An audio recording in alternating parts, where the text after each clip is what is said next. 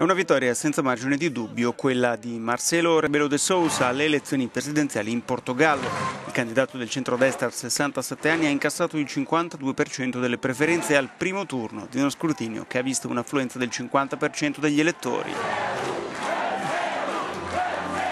Questa sera mi voglio rivolgere in primo luogo al popolo portoghese, ha detto De Sousa nel suo primo discorso pronunciato dalla Facoltà di Diritto di Lisbona. Sono i cittadini che comandano e i cittadini hanno fatto l'onore di eleggermi Presidente della Repubblica. Non c'è nessuno che sia stato sconfitto in questa elezione presidenziale, ha detto De Sousa. Al di là dell'atteggiamento super partes, lo sconfitto c'è e come, ed è il candidato socialista Antonio Sampaio da Novoa che ha raccolto poco meno del 23% delle preferenze.